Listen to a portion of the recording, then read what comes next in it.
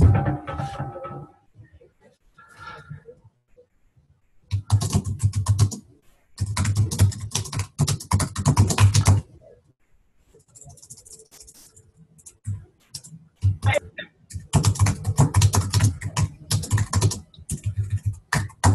right, guys, we're going to start in one minute. If you can, make sure that you uh, mute your computer so we don't have any background. I'll mute everybody. Actually, I'll just mute everybody right now. But Jeff, make sure you unmute yourself when you're ready to talk. Got it.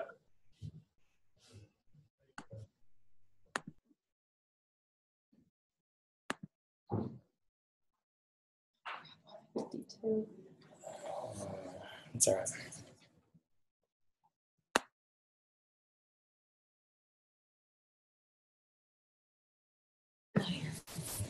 All right, let's get started. Northeast region, it's so good to see all of your beautiful faces. Thank you for taking time to join us this evening. We are so lucky. We have a the one and only Jeff Hill. I feel like we should maybe clap our hands or sing a song. I don't know. It's a, it's a, it's a great day. Um, but before we turn it over to Jeff, we've got what like 30, 45 minutes of announcements, and then we'll leave the net last 10 minutes for Jeff.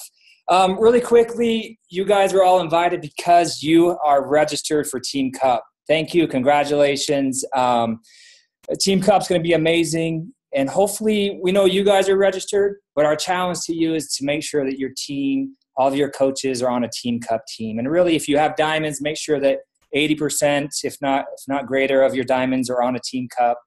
Um, you know, stress the importance. We know you guys know the importance of Team Cup, but really stress the importance um, with all your coaches.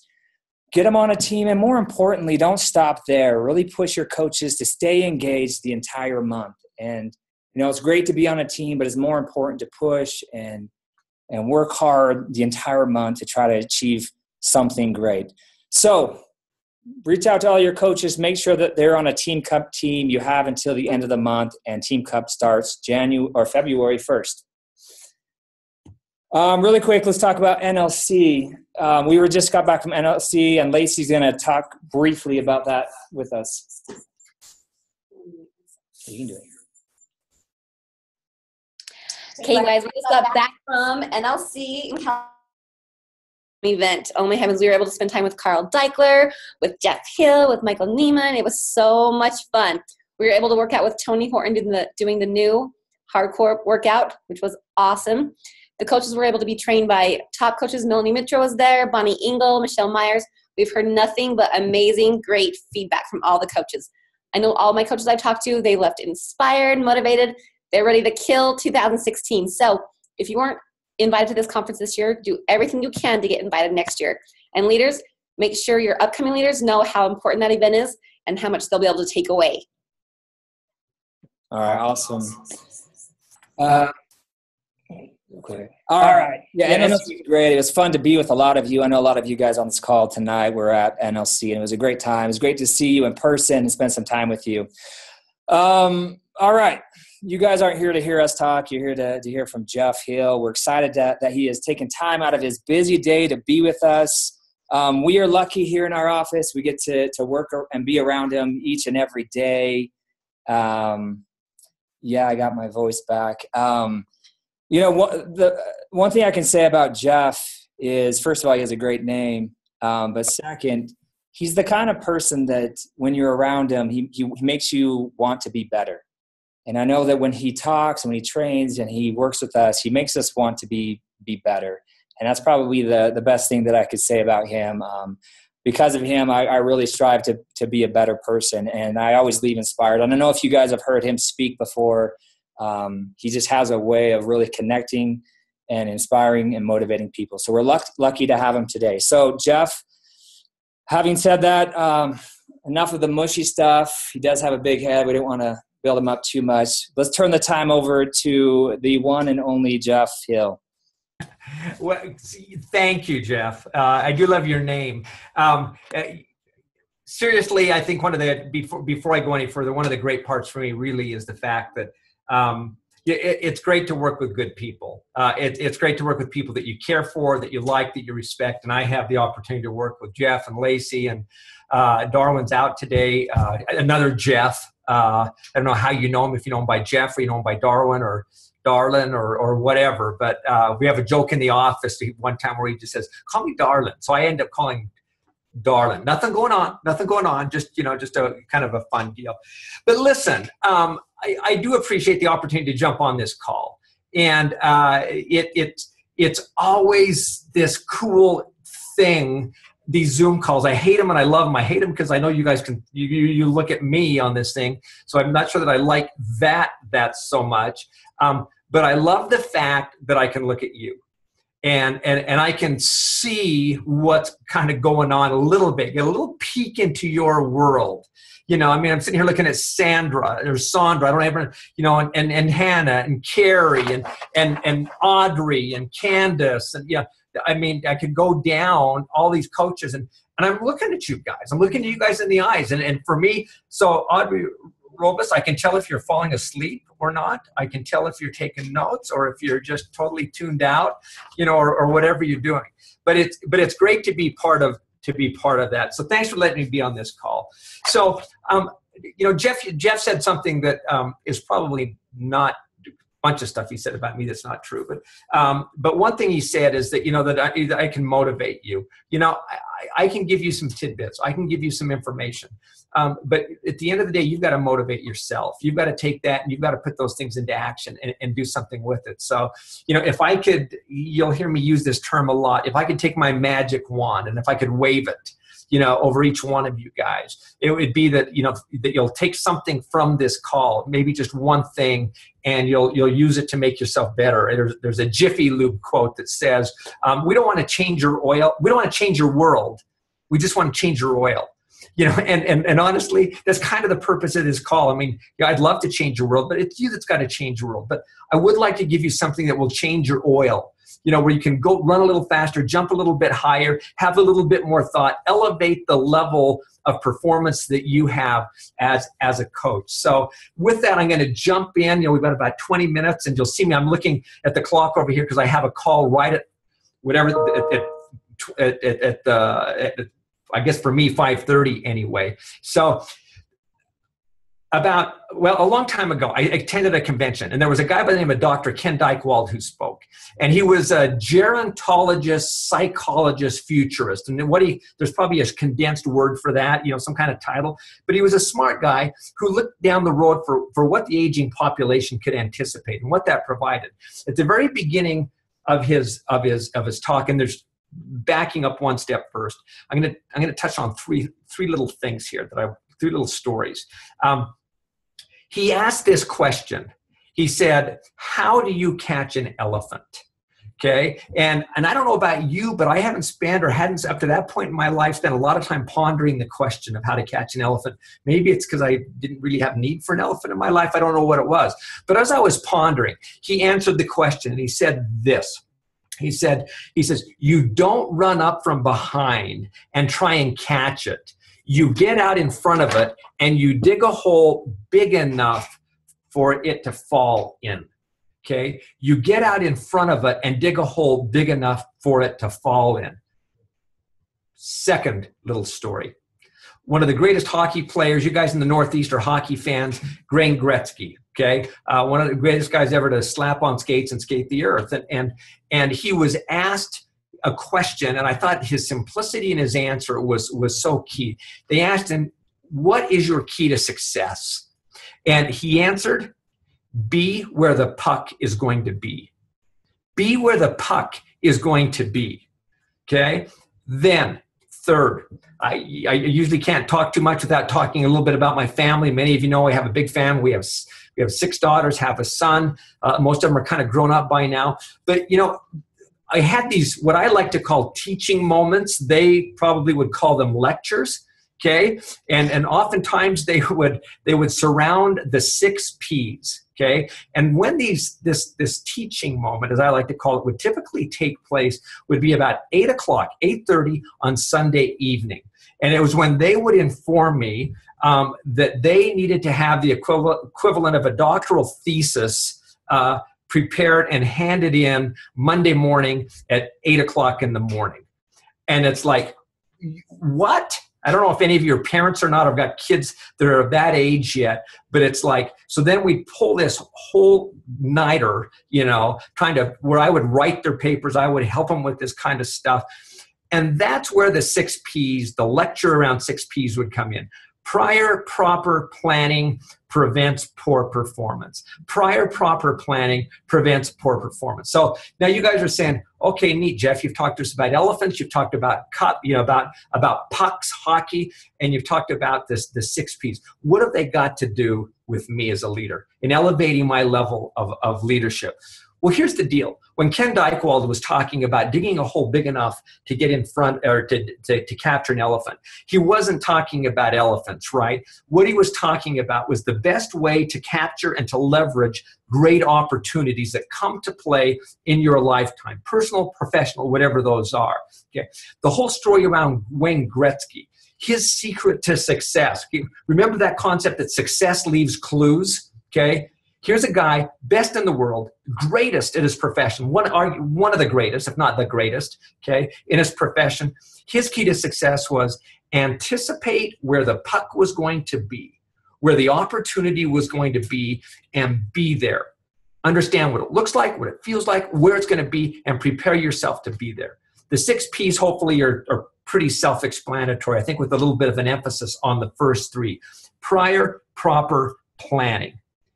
So the real question is, as you contemplate those as a leader, are you are you using those principles to put in play into your business? Now, backing up for a minute. I know that I'm preaching to the choir, so to speak. I'm, I'm talking to people that are engaged in our business, that you're signed up for Team Cup, you're on a, on a Team Cup team, but I'm talking to Beachbody guys. And yeah, I get that I'm a corporate guy and I'm supposed to drink the Kool Aid, right? Okay. Well, as a matter of fact, I do drink the Kool Aid. Okay. I like the Kool Aid, and I happen to believe deeply in the Kool Aid that we offer. And I and I don't mean that to be demeaning at all about who we are, because I happen to believe very deeply, very passionately thing that drew me here as a company and what I still continue to see. And, and, in fact, I think my vision of who we are and what we what we can become gets clearer every day.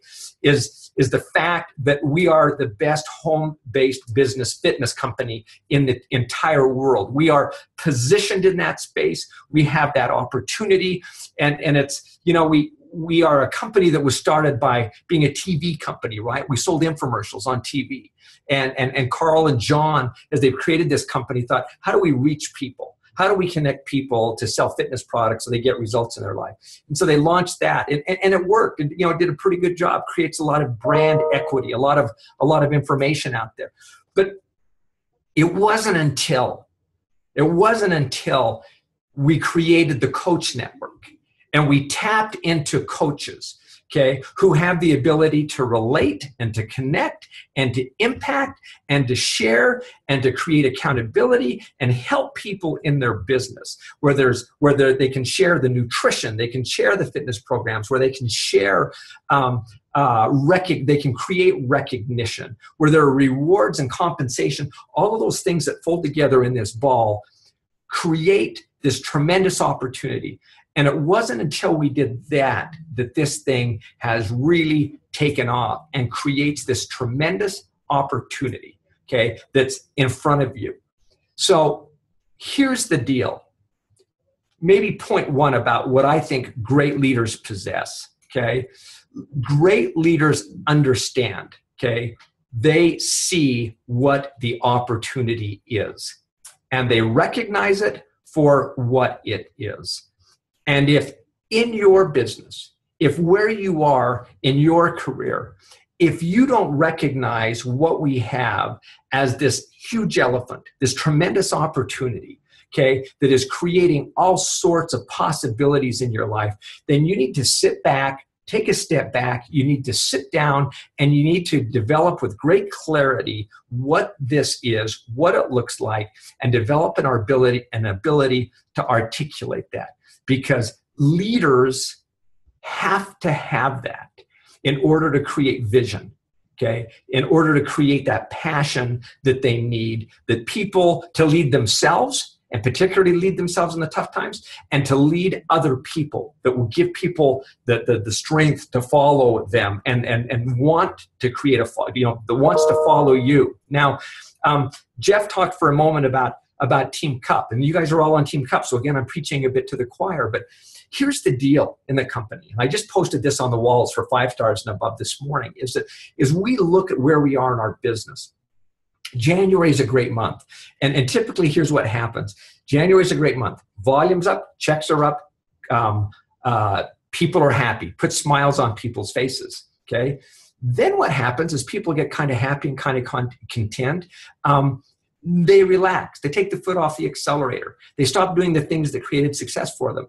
And then what happens is volume goes down, checks goes down, um, the, the, the smiles start to kind of dissipate a little bit. And then there's this chatter, okay, that starts to surface on the team pages and on your team pages. And it goes something like this. Geez, what's going on? My volume's down. Is your volume down? You know, and and and you'll start to hear that. And the real key is it's not what's going on. The real question is what's not going on in the business. And typically that is something where the coaches, the leaders have stopped leading and have taken the foot off the accelerator and doing those things that create this flywheel that keeps turning, that creates success. January, we expect things to be pretty good. First of the year, people want to have great success. They want to have fitness goals. They have their New Year's resolution. You expect it to be good. But one of the reasons we put Team Cup into play is not because there's great tier prizes and you know stuff you can get and and hold the cup and maybe fly to Santa Monica and all that kind of stuff. That's th- th- those are all little tiny things. The real reason, the real reason behind this cup is because it creates an opportunity for you to leverage the opportunity with yourself as a leader and with other people to create leadership moments. And one of the things we see consistently consistently is that after a team cup month, during a team cup month, we see volume go up, we see checks go up, we see leadership ranks advance, we see people advancing. Um, there are the, all of the positive indicators come out of this business. And so you've if you're if you're not leading a cup or your coaches aren't on a team cup i'm going to challenge you right now as a leader get them on a cup because that is key to generating more success for them. So, um, and you guys are on a cup, so I'm, i know I, am I'm preaching to the choir, but it's part of this flywheel that keeps the thing moving. And if you see where we are as a company, one of the things that we do is we insert these little moments throughout the year for coaches to leverage. There's there's Team Cup in in February. We have our Success Club trips. We have our Super Saturdays. We have our summits. We have our leadership. We have other Team Cups all of those things are meant to keep the thing going. I, I don't know how many of you remember the old Hot Wheels uh, little deal. Some of you are shaking your head going, yeah, I remember the little Hot Wheels, little cars that went around a track, right? And you remember that um, you could get, I don't even know what it was called. I should go Google and find out what the name was. But there was this little slingshot um, wheel, the set of wheels that would spin. And what would happen is that the, the car would go around the track and it'd come around and it'd start to slow down and then it would hit these wheels and it would go and it would fly it would be it would just be flung out of those things that's the purpose of team cup. It's to being that slingshot that accelerator in your business. So this is an opportunity that leaders recognize. Leaders will look at it and say how do i dig the hole? How do i get in front of this thing take advantage of, of what this is? So now i'm going to move quickly. Need to meet somebody there. But so, four characteristics I think of leaders that as you lead your teams, regardless of whether it's in a team cup or not, I'm going to call them the four E's. Okay.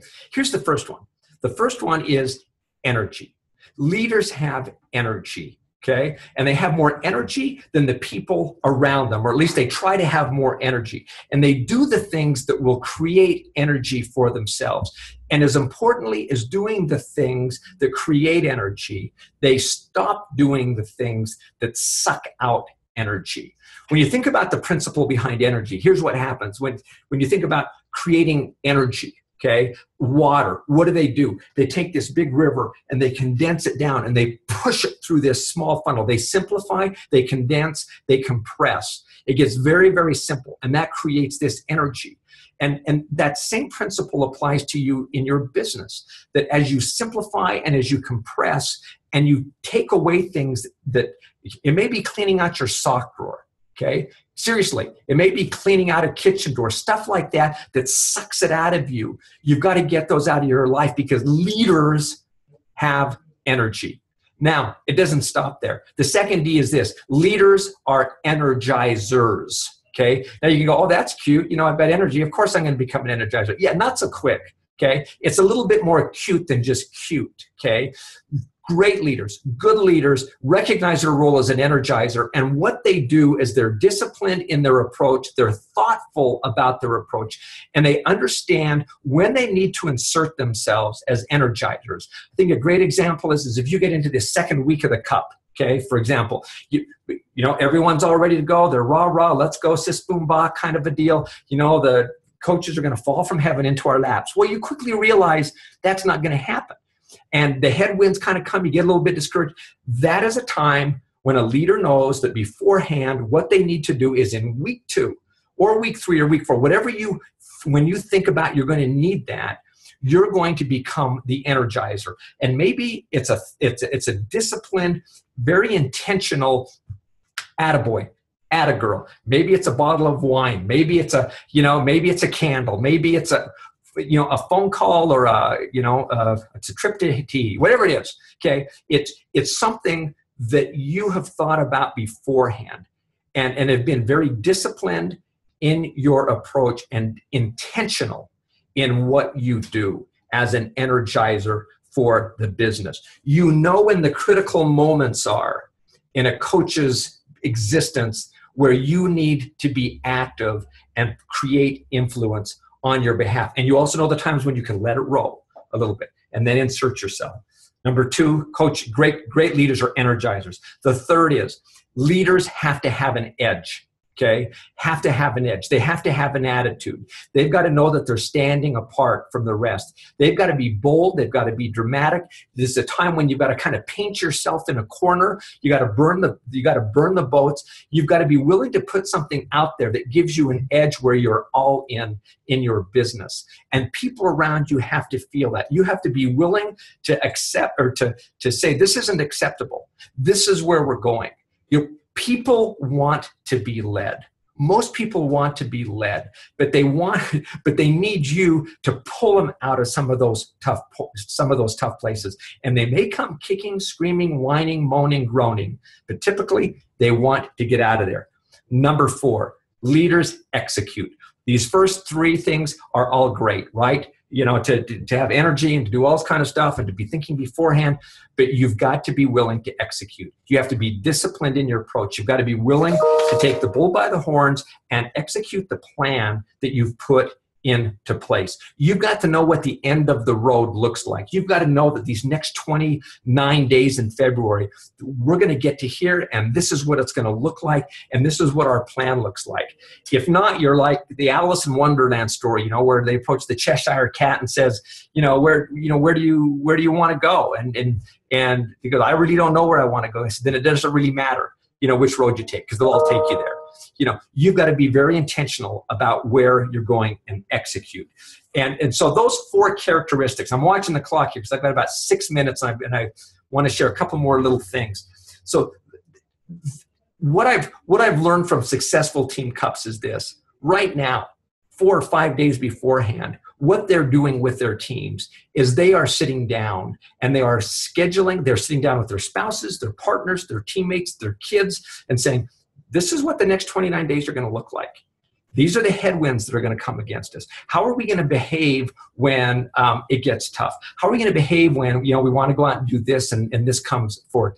They always beforehand have planned and scheduled what it's going to look like and anticipated you know what's going to come down the road so this is the time even if you're not the team leader to to make sure that it happens okay last couple of thoughts and this is a bit of a gut check, okay? It's this Are you interested or are you committed? really. Okay, really.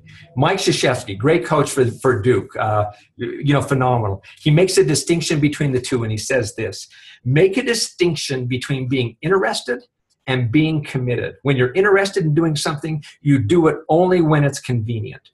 Only when it's convenient. When you're committed, you follow through no matter what. No excuses. You've got to ask yourself, am I serious about this? Am I committed to it? Because if all you're willing to do on this is really treat it as a hobby, then you shouldn't expect anything other than hobby results. If you're serious about this being a business, if you're serious about being here a year from now or five years from now, then you'll make the moments count. Okay. You'll be where the puck is going to be. You'll dig a hole for the opportunity that you're going to capture that opportunity. One more quote, couple more quotes. Life is a series of near misses, but what we ascribe to luck is not luck at all. Get this it's seizing the day and accepting responsibility for your future. accepting responsibility for your future. It's seeing what other people don't see and pursuing that vision, no matter who tells you not to. If you want a, to achieve widespread impact and lasting value, be bold. Okay? Be bold. if you want change, if you want to change the fruits of what you're getting, then you've got to change the roots. You've got to put some of these things into place.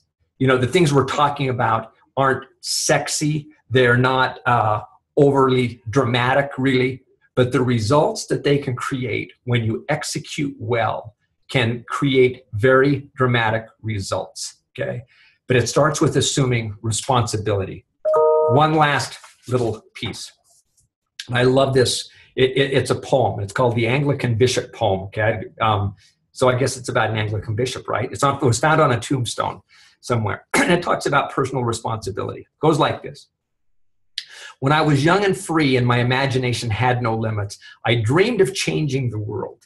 As I grew older and wiser, I realized the world would not change. And I decided to shorten my sight somewhat and change only my country. But it too seemed immovable. As I entered my twilight years, in one last desperate attempt, I sought to change only my family, those closest to me. But alas, they would have none of it. And now here I lie on my deathbed and realize, perhaps for the first time, that if only I'd changed myself first, then by example, I may have influenced my family. And with their support, I may have bettered my country. And who knows, I may have changed the world. It starts with you guys, starts with us. I, I have high dreams, high hopes sometimes, and, and I, I want to change my kids and I want to change my family. And, and I realize when I want to expand my circle of influence as a leader, what I've got to do is I've got to change myself. I've got to improve myself. And when I start to do that, what happens is my circle of influence expands and the leadership and the followership, followership follows on this. So guys, um, we're, we're out of time, but, but let me just, just say this. It's, it's I, I, look at you guys and i'm serious I, I look at your faces and, and, this gives me this opportunity literally to look into your homes okay and kind of look into your eyes. And it's this humbling moment for me because as i look at you guys you all of a sudden you go man there's people here with kids. There's people here that are you know they've got laundry they're trying to do. They're trying to cook dinner. They're trying to multitask.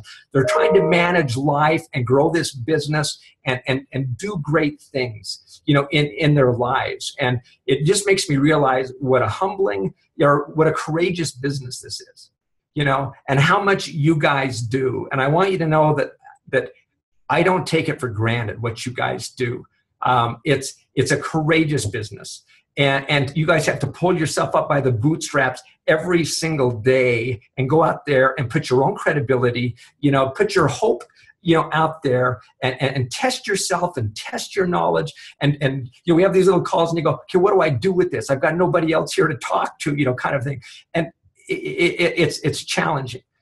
My responsibility I this this helps me become even more responsible that, that we will make the decisions and try and lead this company in a way that, that when you go out there and you put your credibility on the line, you put your reputation on the line, that, that this will be a company that, that can be part of that big opportunity that creates possibilities for you in your life. And so I just want to say thank you for being on the call. Thank you for being who you are.